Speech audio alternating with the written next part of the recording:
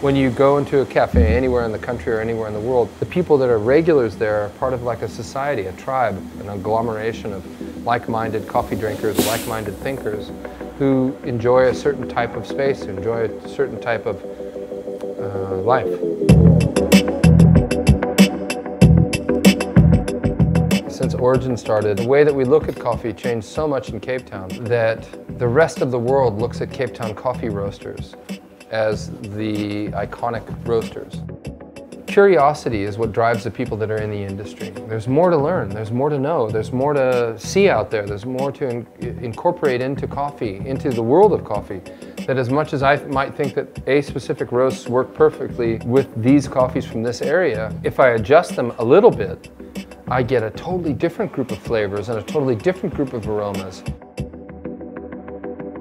There are over 900 different esters and phenols that you get as aromatic compounds from a single cup of single origin coffee. Now 900 plus different components of, of aroma and is massive. It's incredible.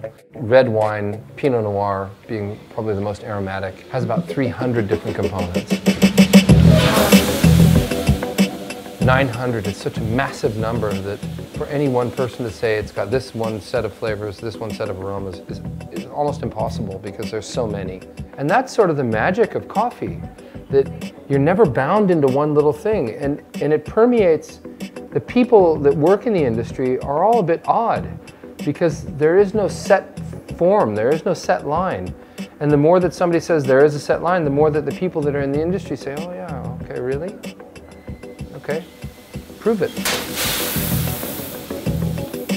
of the four best roasters in the country, I'd like to think that we're one of them, but how we fit into the Cape Town coffee culture is, I actually don't know. We are an odd tribe of people. Every coffee company you run into somebody, they're all a bit odd. They're, they're a bit cooked. And they're cooked for a reason because as much as we think we know, we don't know nothing.